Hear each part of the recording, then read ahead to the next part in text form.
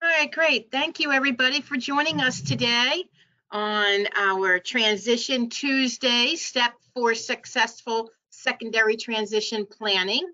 And today our topic will be transition services and activities. And as you know, this is part of our Transition Tuesdays webinar series for um, that we've been doing since last September. So welcome on this beautiful sunny day and it's springtime. All right. I am Diane Perry. I am the parent advisor at the PEAL Center. And I also wear the hat of a proud parent of a young man who um, had special education services while he was in school. He is now a young adult at age 28. It hurts me to say that age. and um, but anyway, uh, he gave me my career, and I just love what I do um, here at the PEAL Center. We um, this graphic really represents the six key strategies that we use at the PEAL Center, and this is what we do to accomplish all the work that we do. And in the center, you're going to see the families and youth. And around that is the, all the communities um, and professionals um, that surround the families and youth with those um, services. And then around the outer service, outer circle is the uh, various um, components of what we do at the PEAL Center. So we do lots of outreach. We provide tons of resources.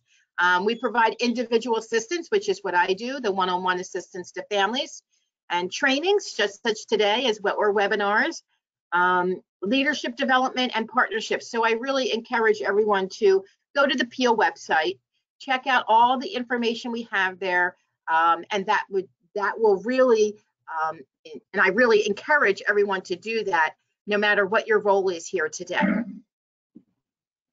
And my name is Michael Storr, and I'm a Knowledge Development Technical Assistance Specialist with the National Technical Assistance Center on Transition, the Collaborative, or NTACT:C um, out of the University of North Carolina, Charlotte. NTACT:C is a federally funded project that supports state education and vocational rehabilitation agencies, local educational agencies or school districts, and VR service providers, youth, families, and other secondary transition stakeholders in developing and implementing effective evidence-based practices that help students transition from high school to a meaningful adult life. As can see our um, goals of the NTACT, the collaborative, is that all students and youth with disabilities will be prepared to graduate from high school with the knowledge, skills, and supports for post-secondary education and training, competitive integrated employment, and community engagement. Great, thank you, Michael. All righty. Um, before we go any further, I do want to introduce one of our special guest speakers that's been joining us on our webinars the past couple uh, months. And um, Lily, would you like to do a little bit of a brief introduction of yourself?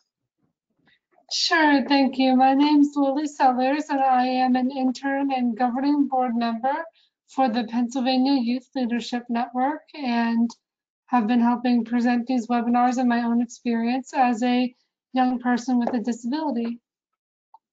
Great, thank you.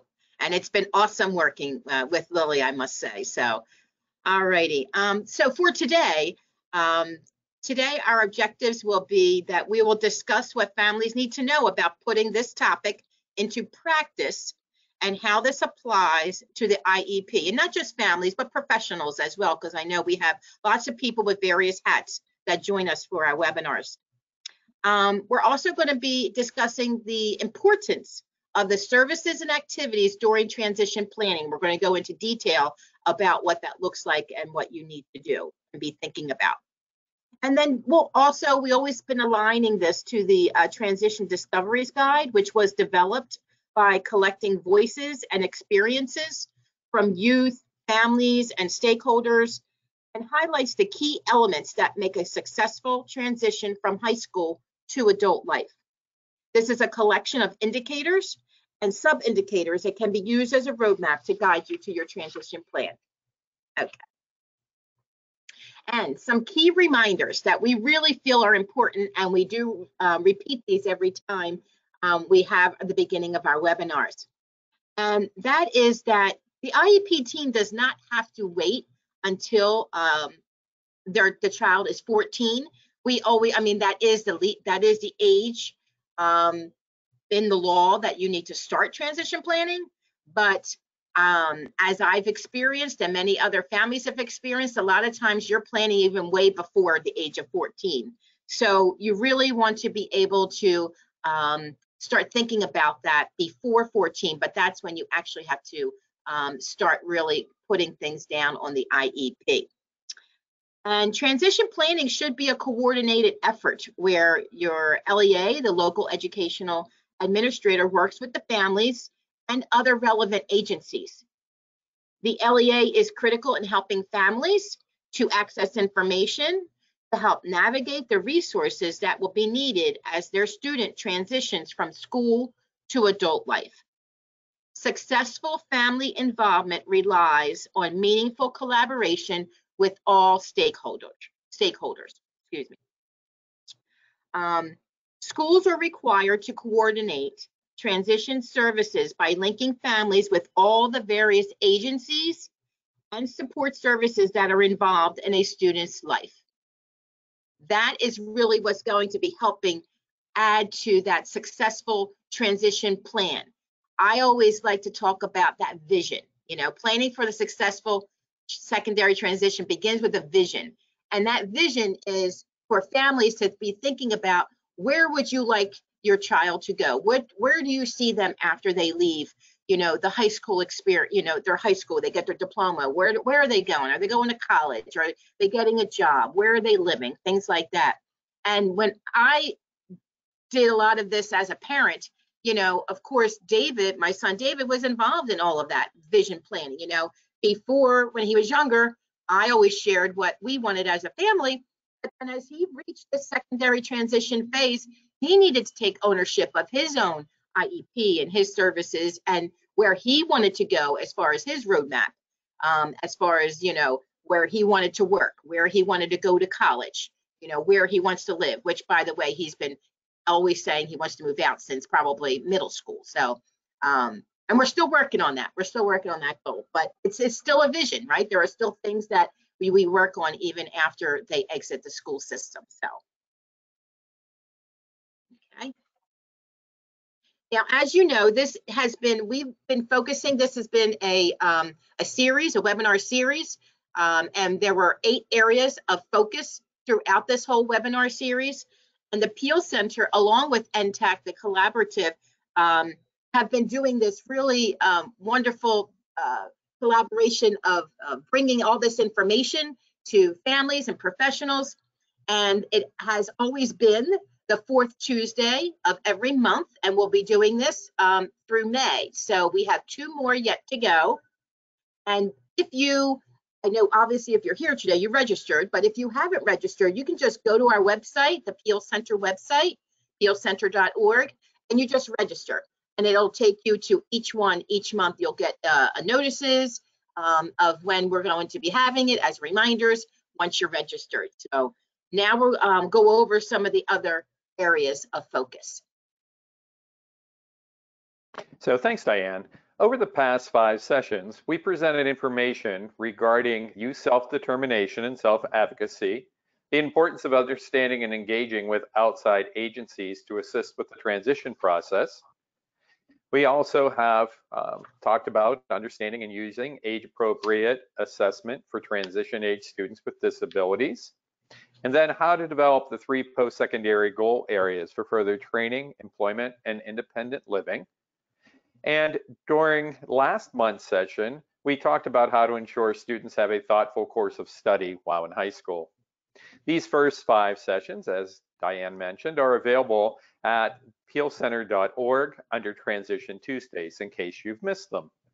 During today's session, we'll be presenting information regarding how the trans how transition services and activities can be aligned to post-secondary goals and they should support the students' post-secondary goals of further training, employment, and independent living that lead that young person to success once they graduate from high school. Michael, I hate to interrupt you, but I forgot to mention to everyone that our PowerPoint is in your handout section in the in the panel there. If you if anybody here would like to follow along on our PowerPoint, please go to the handout link or the, the little link there on your, on your tab, tab on that, and you'll be able to download our PowerPoint. Sorry to interrupt you. Oh, no worries. Thanks, Diane. So as Diane mentioned when she was going over the objectives for today's session, uh, we do talk about and have during the last um, several of our sessions um, discussed transition discoveries and the Transition Quality Empowerment Project, or TQEP. And this is a project led by staff from the George Washington University in collaboration with the PEAL Center and the Pennsylvania Youth Leadership Network, or PYLN, through funding provided by the Pennsylvania Developmental Disability Council, and is designed to work with youth with disabilities, their families, and other stakeholders to enhance secondary transition programming and services while students are in school and to increase successful students' post-school outcomes. Transition Discoveries is a program that is being implemented throughout Pennsylvania through the Pennsylvania Training and Technical Assistance Network, along with the Intermediate Unit System, um, to engage and support Pennsylvania's interagency partners. Included in this program is the Transition Discoveries Guide that contains nine secondary transition-related areas that are further broken down into 55 sub-indicators that can be used as a roadmap to guide a student's transition plan. Be sure to check out the Transition Discoveries website. Um, it's transitiondiscoveries.org, and there's really amazing information and resources contained on that website. And then the next slide, we're going to look at what is available for youth and families and how this information is directly related to today's topic regarding uh, transition activities and services. So this slide outlines specifically the sub-indicator areas that are addressed by transition discoveries that are directly related to transition services and activities that are aligned to post-secondary goals. These include sections on transition planning, post-secondary education and training, employment, and independent living and community engagement. So what exactly are the transition services and activities for a transition age student with a disability who has an IEP? So as we look at what are transition services and activities, let's take a step back and think about how we're assisting that young person achieve his or her dreams. One way is by structuring the courses that the student is taking along with the services and activities to lead to those post-secondary outcomes. This is also known as action steps or those directly related activities that will lead that student to those outcomes for further training, employment, and independent living. When we look at these activities, um, at least one, uh, so if you go to the transition section in the IEP in Pennsylvania, um, and there's the transition section or section three, we talk about having at least one service listed in that section that's linked to a measurable annual goal. And measurable annual goals address skill deficit areas, things such as reading or writing or behavior or organization. And then we look at having at least one activity. These are other activities. So not aligned directly to the measurable annual goals, but these are things that are going to help that student reach their goals for further training, employment, and independent living. On this slide, it's important that we look at these differences between services and activities. Both need to be addressed for transition age students, but services are those things again that lead to measurable annual goals. So examples of those could be things such as building on vocabulary skills, um, looking at improving writing skills, engaging with pair, peers in their school, practicing self-advocacy skills. Activities, on the other hand, are those things that help that student reach their post-secondary goals. And oftentimes these are either a one-time event or an activity that might allow that student to gain additional information and knowledge. So these are things such as visiting a college or a job fair, uh, maybe having a job shadow experience in the community to see what different types of jobs are like, uh, talking with the guidance counselor at the school regarding their graduation plan, doing a senior project, or meeting with an outside agency, such as an Office of Vocational Rehabilitation counselor. As I mentioned a few minutes ago, um, the section in the IEP in Pennsylvania is section three, and we oftentimes refer to this as the transition grid. When you look at this, and we've talked about over the last couple of sections, um, you had the post-secondary goal area, so whether it's further training, employment, or independent living. We talked last session about courses of study and having those listed. And now we're talking about looking at the services and the activities. And again, we talk about at least one measurable annual goal being referenced, and then at least one activity being listed in this section. So as we're looking at these activities, it's important to also remember that we need to consider all of the activities that are offered in that school. And these include those activities that are occurring in general education. So if they're in general education courses such as English, looking at you know, the resume writing that may be occurring, or if the student is in a home economics class, looking at food prep, um, or looking at you know researching careers. It also means looking at activities that are provided by the guidance counselor in the high school and are offered to all students in the general curriculum. So are those being looked at and included in a student's IEP in the transition section? And then looking at all other school activities that could assist that student in reaching their post-secondary goals for further training, employment, and independent living. And it's important that these are listed in the IEP.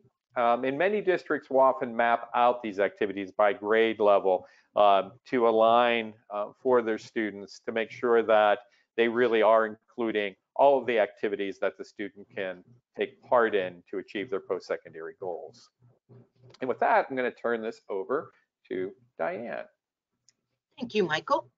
I also want to add that if anybody does have any questions throughout our presentation, please feel free to use that pane um, on, on your on computer there, the question pane, and feel free to hop something in there and we'll be happy to address our questions. Um, if not throughout the presentation, definitely towards the end. So we encourage you to ask any questions. So um, now this is some examples of post-secondary education and training activities.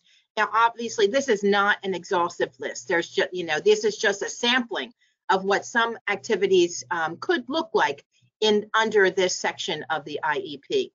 Um, it's important to only list activities that the um, school district, the LEA, can support. So, for example, if you know um, you want to go talk, you might be talking at your IEP meeting about touring a college campus. If the school district may not be able to support that, then maybe you may rather want to say, you know, do an internet search of colleges because tours sometimes happen not during a school day. Sometimes they may occur over the weekends and things like that. So it's important that you think about, you know, the activities and really knowing that you'll be able to assist the student in doing those activities.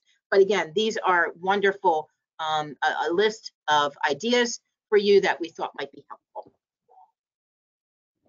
And then in the employment section of the um, IEP, here are some more examples of activities that you could be looking at. Again, this is not an exhaustive, exhaustive, exhaustive list. Um, now, there is um, a website, and I know that Michael is going to share a ton of resources towards the end of our presentation, um, but there are some wonderful websites that you can find other um, possibilities and um, different uh, other ideas around examples of activities for employment. For example, the PA Career Zone um, is someplace you can explore pathways to a career hub. So it actually goes to a hub, then you, you can get some other ideas around that too. So that's, you know, something just to think about as you're trying to figure out what activities should we be putting in for employment. And then of course we have independent living. living. And the examples um, that we have listed here um, are just a sampling of what we, um, you know, thought we would offer. Um, schools do need to address independent living goals if there are needs. However, some students may also engage in independent living activities outside of the school setting with sometimes with other paid or some natural supports that they have in their community. If a student is engaging in these activities to address needs related to their independent living goal, and these activities should also be noted in the IEP and also um, a summary of some of that, that what's happening under in the present level section in the beginning part of the IEP as well. Okay. So one thing we want you to remember, we utilized this slide a little for the for the last uh, session as well to kind of show you that there must be an alignment to those post post school goals. And Michael really talked about that earlier um, in the presentation. And this is um, an example of a post-secondary goal after graduation from high school. Kevin has a goal of working as a sous chef in the deli of a local grocery store. And down in the middle, you see that course of study. And to the left, you listed the courses, which we talked about at our last session. So if you missed um, our webinar, that's what we focused on was the courses of study. So they are recorded on our website. So please, you know, if you missed that one, you can always catch it again. But today we're focusing more on the activities and really thinking about what will that multi-year plan look like? Um, Michael suggested earlier that a lot of districts do go through each year, you know, 9th, 10th, 11th, 12th, and you have each year listed um, about what you might be focusing on. And so here is a sampling of what that could look like um, pertaining to Kevin, who, who has this goal of being a sous chef. Um, now, activities including pre-employment transition services to be provided in collaboration with vocational rehab. So the Office of Vocational Rehab is usually involved at some point, and they are also assisting in making sure that the employment goals um, and some of the activities or services are being um, implemented. And this goes through each grade of what that could look like for Kevin. You know, maybe that first year, you know, it's more of his exploration about the um, position of what he wants to do. Um, maybe there, maybe he can already start with some work-based learning experiences in ninth grade, and this is a great time for him to start working on um, in, instruction in his self-advocacy, where he's actually doing that as an activity. And then in 10th grade, you know, you up you, you up it a little bit more, where he's maybe job shadowing somebody at a grocery store, or um, you know, uh, at the workplace, there is some training to develop some social skills and independent living. Um, and then in the next grade, 11th grade, now is when, you know, he's doing some community-based vocational training, which means probably OVR is involved more at this stage of the game.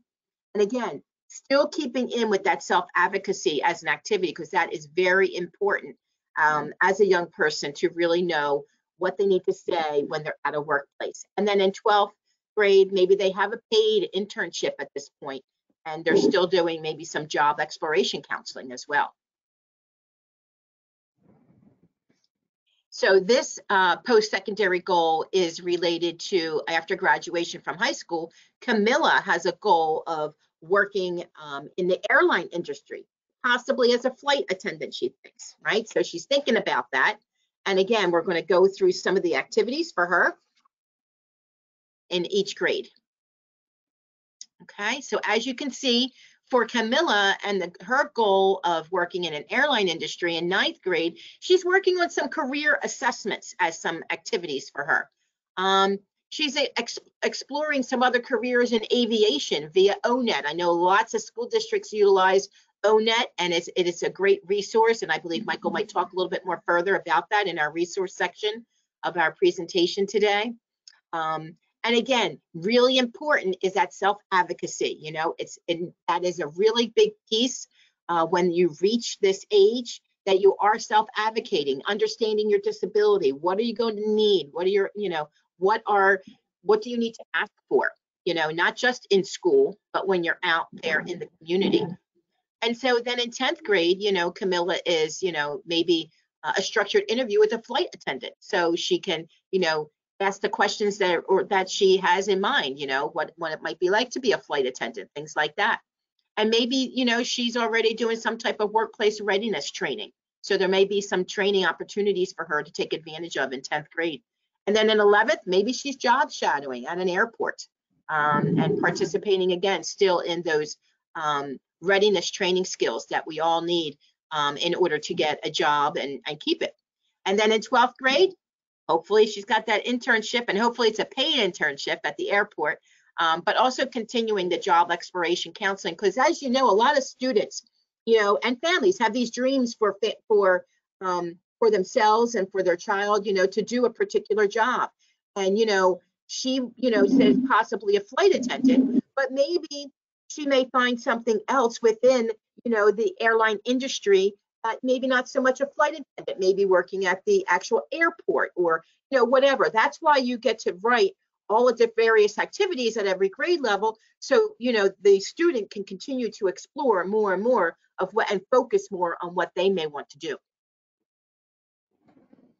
So um, think about the young person that you're working with, whether that's your student or your son or daughter, and think about um, what you may need to do and what they can do to support themselves through the transition process. What activities might be appropriate for them given their post-secondary goals across each of the grades, so across 9th, 10th, 11th, and 12th grade. On the next slide, we have a graphic organizer that was designed to help you and the student organize and plan for their future. And we kind of shared this with you on some of the slides that, that Diane just reviewed.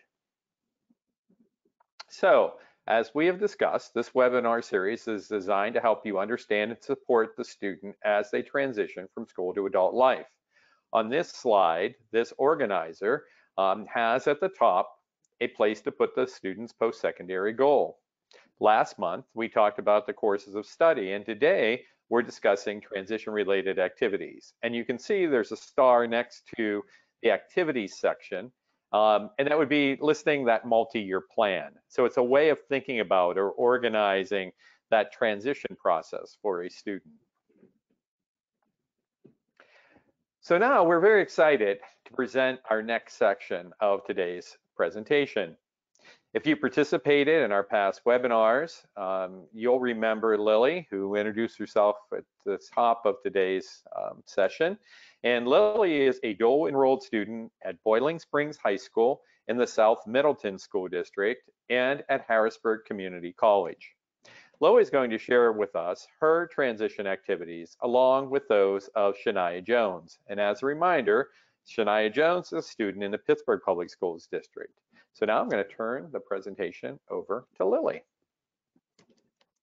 Thank you. So my services and activities, um, starting out, I will continue to try different note-taking strategies to assist me in my post-secondary education. I've tried many different um, assistive technologies from using um, speaking tools that I can talk into and will switch into words. And I've also tried things that don't work, like a smart pen where I could record and write at the same time. Um, but I've really focused in this year on typing and different strategies to help me type faster. Um, look into the Office of Disability, look into the Office of Disability offices at my prospective colleges for possible accommodations. I've been looking into different housing options as well um, and what could work best for me. Have the opportunity to take my SATs. I did this um, this year and had a few accommodations for that. Um, people to help me um, write if I needed to because I um, can get very fatigued when I write. Take take another career interest survey to continually assess my career interests. Um, that has definitely helped me a lot. I've really started to narrow down the field um, I want to work in after graduation, and so my internship with PYLN has helped a lot with that. Have a complete and updated resume prior to graduation. I'm still working a little bit this year on really finalizing my resume, but I definitely have a very good draft to start with. Um, take an independent living survey. Um, I have not taken that at this time, but um, it's definitely something I'm going to bring up at my next IEP meeting. um, research outside agencies and supports that are available to assist me with my independence. Um, this year I have reached out to OVR and I'm taking first steps with that agency. Um, I believe they will be at my next IEP meeting, so I'm definitely excited to start that um, relationship and help me look into what I want to do after high school. So Shania services and activities. Shania will participate in the SAT exam, attend college fairs, complete assessments in Naviance. My school also uses Naviance and it has been a great tool. You can um, take different career and job assessments on that and you can also look into different colleges too. There's a tool where you can compare different courses of like study. Um, improve reading skills, have the opportunity to participate in promoting academic success in the PACE program, um, participate in Start on Success program. Um, and I was told this was in the Pittsburgh area and it's different transition classes and that sounds really helpful and interesting. Um, attend a presentation on OVR complete transition assessments to further explore employment goals, improve self-advocacy skills, attend IEP meetings, and improve budgeting and math skills.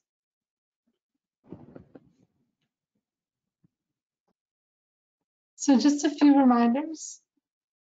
Even with the best plans, life changes. Adjust your plans as your needs change with time. Um, definitely this year, I think everyone can relate to having different changes. I didn't expect to be doing um, all online classes this year or even um, to be duly enrolled at um, my local community college, but it's actually been a really great experience for me. Um, remember that you are not alone in the process. Use all available resources and ask for help. Great. Thank you so much, Lily, and thanks for sharing more information about your IEP and your transition process. Uh, really uh, is helpful and appreciate you taking the time out of your busy schedule between your high school and college classes. So thank you. Thank you so much. Yeah, I have to add, it's been a pleasure working with Lily and on, on all of these uh, and hearing more about your career and where you're going with it. It's just simply amazing. So thank you, Lily. And actually, some of the attendees have also um, passed on um, their um, thanking you for your participation as well. So, all righty. Um, next month, um, we're getting, we, we still have lots of some resources that um, Michael is going to be sharing with you. But next month, I wanted to give you a preview for April 27th. Mark your calendars we will be doing the measurable annual IEP goals and post-secondary goals aligned. So that'll be our next topic for next month. So um, please be ready and, and uh, mark your calendars, register if you haven't registered or get other people to register. That would be great. You can just visit our website down there, click on and, and backslash transition Tuesday to review any of the handouts as well that we have been providing throughout the whole series too. Great, thanks, Diane. So in this next section, uh, we're going to wrap up with some resources, but I wanted to take a little bit of time um, today's session to um, show or share with you some of the things that are happening in other states um, across the country. So at the National Technical Assistance Center on Transition, the collaborative, we work with all the states and territories in the United States, and there really are some wonderful things that are happening that tied directly into today's topic of looking at what activities students can engage with while they're in transition in high school. So uh, let's take a little trip across the country. Um, so we're first going to start in talking about um, T-Folio. And T-Folio is a free transition portfolio tool for high school age students with disabilities. The tool was designed in Washington State through the collaboration of the Center for Change and Transition Services and the Division of Vocational Rehabilitation in Washington State. It aligns both IEP transition planning with VR's pre-employment transition services so that both educators and agency personnel can use it in working with students. T-Folio has five units that correspond to the five required pre-employment transition services, and each unit is made up of lessons that contain a lesson guide and at least one activity. The lesson guides can be assessed from the lesson landing pages and either followed online or saved as a PDF form. The activities can either be filled in online um, or printed out um, and completed with pen and pencil. And students can also keep track of their own documents using what they call a T-Folio tracker. Um, and I didn't mention before, but all of these resources that we're going to be talking about in these next several slides are free. So it's another uh, a bonus that you're looking at what supports are available uh, for the students and the young folks you're working with. Next thing I wanted to mention is comes from West Virginia, and it's West Virginia's Pathways to the Future curricula. That includes lesson planning, lesson objectives, and detailed instruction for the facilitators to ensure students receive quality service provisions for secondary transition. This program includes sample worksheets, instructions, and resources embedded within each lessons. And the lessons can be adapted in terms of content and pace depending upon the individual needs of each student. I also wanted to mention that this particular website was built with accessibility in mind, and they tried to follow the Web Accessibility Initiative, or WAI guidelines. So there's high contrast, alternative text labels, uh, the videos and webinars are captioned, um, and the website also offers an accessibility toolbar that includes a number of features such as reading aloud, um, a text magnifier. Um, so again, there are just amazing, amazing resources through the Pathways to the Future site. Explore Work um, is another site we wanted to mention. Um, and Explore Work is a series of five online modules developed by the Workforce Innovation and Technical Assistance Center, or WINTAC, along with Employment Resources Incorporated ERI and the University of Wisconsin-Madison. Through Explore Work, students can create a profile where work can be saved and their progress tracked through certificates of completion. And all students' work is automatically shared via email, and that can be shared with a teacher, a VR counselor, or other providers. And this particular site is also available in Spanish. Next, we move up to Alaska, and I wanted to share with you, um, it's really, uh, it's an amazing resource called School Store. Um, it is something that was developed by the Alaskan State VR Agency to introduce students to what it might be like to own their own business. This very creative curriculum includes five modules that introduce students to small business concepts as they work through setting a goal, developing a business plan, and putting the plan into action. Next, I wanted to talk and highlight something that comes out of the state of Nebraska and Nebraska Career Tours. And this tours, and this was something, especially during this past year with COVID-19 and really restrictions in getting out um, and actually having students experience different workplaces in person. This is a way that students can virtually tour various industries and look at various career pathways. And even though the video showcased different businesses and industries in the 16 career, career clusters in Nebraska, there is sort of a universal feature to this that it's applicable for students in Pennsylvania also. In addition to the tour of the businesses and industries, the videos also contain interviews with employees and managers discussing their work requirements, what education they needed for those jobs, their salary and job prospects. And the videos provide an accurate picture of today's workplace, breaking down stereotypes and assumptions while emphasizing the knowledge and skills required to be successful. And under the resource section on this site, there are also discussion guides that accompany each of the virtual industry tours. And the discussion guides include suggested activities and questions to help guide students learning and each component of the guide can be used individually or modified to fit the individual needs of the student.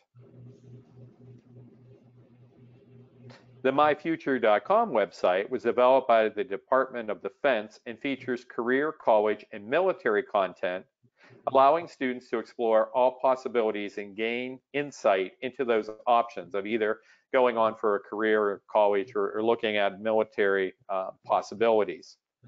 My Future helps young adults plan their next steps in life by bringing together the most recently available information about colleges, careers, and military services opportunities. And they gathered this information from the U.S. Departments of Commerce, Defense, Education, and Labor. In this site, it's very comprehensive and students can find information on more than 7,000 accredited colleges. And in addition to listing the college admission details, they also include average salaries and employment trends. This site provides advice on everything from how to take the SAT to interviewing for the first job, for those interested in armed services, how to prepare for boot camp. Um, and users are also able to find step-by-step -step planning tips um, using the revert, the very robust search feature as part of this site. Think College is a uh, organization that's operated out of the Community Inclusion Center at the University of Massachusetts, Boston.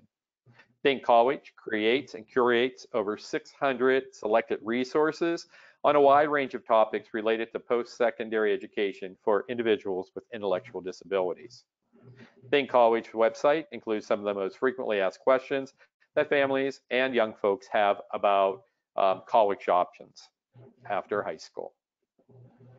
I just want to add that I love Think College. That I do share that resource a lot with families, um, and they have all kinds of other resources on there, even helping families um, look at transition goals and what would a goal look like to start getting ready to go to college or get a job and things like. There's just a ton of resources on there for not only families and and um, students, but also for the professionals assisting them too. So um, I really recommend thinkcollege.net. Thanks, Thanks um, so the next uh, resource that we want to discuss comes from the Office of Disability Employment Policy, or ODEP, and that's out of the U.S. Department of Labor. And this resource is a curriculum called Skills to Pay the Bills. And I know many folks have used Skills to Pay the Bills um, over the years. Um, and it is a work readiness and interpersonal skill program for youth ages 14 to 21, including youth with disabilities. Soft skills are addressed in this curriculum and they're grouped into six categories with multiple lesson activities that are creative, they're hands-on, and they reflect universal design for learning principles. And the six soft skill categories include communication, looking at a individual's enthusiasm and attitude on the job, teamwork, networking, problem solving and critical thinking, and professionalism. The curriculum can be downloaded as one large document or individually by soft skill topics. There are also seven short two to three minute videos available that provide a synopsis of the curriculum and one video for each of the skill categories. Reality Works provides free employability skill lessons, which were created to help teach students the important soft skills needed to prepare for a career. Each lesson begins with an overview, lesson objectives, and a lesson at a glance table, which lists the lesson activities, materials required, and suggested preparation steps, and also the approximate time it would take to complete. The overview is followed by the actual lesson, and most lessons are designed to be completed within 45 minutes. Every lesson begins with a focus activity intended to capture students' attention, and this may be in the form of a small or large group discussion, a game, or a review of previous lesson information or demonstration. The learn activity in each lesson varies in its presentation mode. It may be a PowerPoint or a group activity or a demonstration. And then the majority of the lessons also end with a summarizing activity intended to briefly review the lesson's key messages or main points. Or if it's the last lesson in a unit, the summarized activity also serves as a unit formative assessment. The student's scores on these short assessments will help determine which concepts or skills they still need to work on. The final resource that I wanted to mention today is uh, Florida's Project 10. In Project 10, Transition Education Network serves as the primary conduit between the Florida Department of Education and the Bureau of Special Education Services. And it's um, relevant for school districts and, and VR staff and other stakeholders in assisting students in the transition process. The Project 10 website contains a lot of excellent resources and information, primarily focused on training and supports um, for Florida school districts, but also all stakeholders. And I wanted to just highlight a couple of things that are on that site. So there is an employment readiness checklist for students with disabilities exiting high school. Um, it's a self-assessment tool that can be used to determine the status of a young person's employment readiness. It can also serve as a guide for further employment preparation when used to identify the experiences that have been developed as well as those that a student still needs to work on. The website also includes sections on independent living, and these focus on financial literacy, health, housing, leisure and recreation, and transportation areas. So those are really just a few resources. There's a lot more if you go to our website, uh, which is uh, transitionta.org. Uh, we do have links to other national resources, but I wanted to highlight some of those because they do try, tie in directly to today's topic, um, looking at transition activities that students can work on in grades 9 through 12, 12 plus programs, and in middle school. So as a reminder, and as I mentioned, um, I work for the National Technical Assistance Center on Transition, the collaborative. Uh, we are a newly funded federal center and we do our website. Um, we have our new landing page up. So if you go to transitionta.org, um, you can link to a lot of the resources that I just mentioned, uh, but check back uh, to that site. We're going to continue to develop it, uh, flesh it out as the, the, year progresses. Um, also, if you have any questions, you can contact us at ntac-collab at uncc.edu. And finally, if you haven't done so already, you can sign up for our list serve um, by going to the bottom of our homepage, transitionta.org, and click join. Um, that will give you a weekly email um, sent, an email blast of uh, a variety of different resources and activities that are coming up around the topical area of secondary transition. With that, I'm going to turn this back over to Diane to bring us home. All right. Thank you, Michael, and thanks for all those resources. That's amazing. Um, and I'm sure hopefully that's helpful for our audience today as well. So again, we thank everybody for joining us today um, and for our webinar series. I know a lot of you um, have been joining throughout this whole series. So um, again, mark your calendars for April 27th. Uh, please feel free to, um, you know, visit the website, uh, PEAL's website, pealcenter.org. We also um, have a connection to, we talked earlier about the transition discoveries.org as well, where we're taking, you know, we're focusing on the, the indicators that are in there, the sub indicators too. Um, and there's lots of resources on transitiondiscoveries.org website, and we are connected to them now as well. Like, so you can go from our website to theirs. And um, again, I mean, there is a lot of great information out there for transition. Navigating it sometimes I know can be a little bit difficult.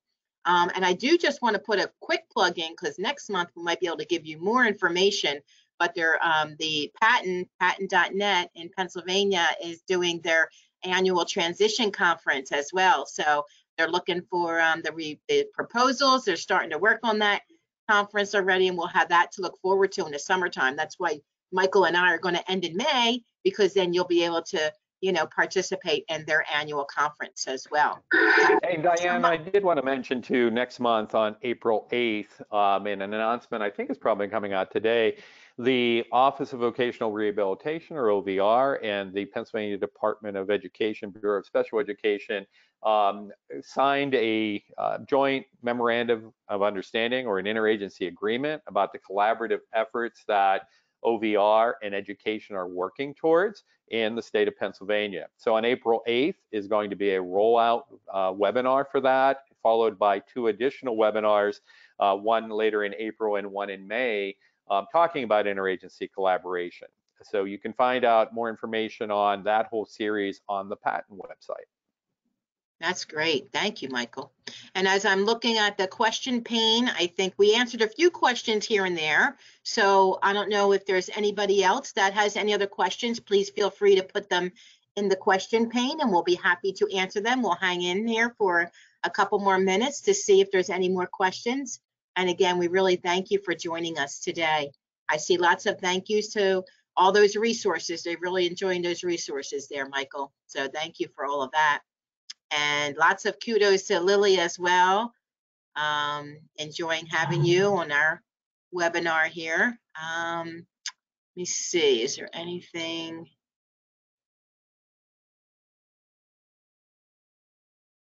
No, I'm not seeing any other questions, so I think that's the end for today. So thank you, everybody. Enjoy the weather. Thank you. Thanks, Diane. Thank you, Lily.